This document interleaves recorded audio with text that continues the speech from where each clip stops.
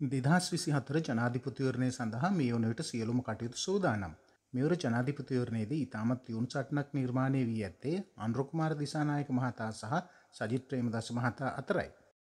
ඒ අතරතුර අද උදෑසන මොන්රාගල් ප්‍රදේශයේ පැවති ජාතික ජනබලවේගේ රැස්වීමකට සහභාගි වී නැවත පැමිණිමින් තිබූ බස්රථයකට කිසියම් පිරිසක් ප්‍රහාරයක් එල්ල කර තිබෙනවා.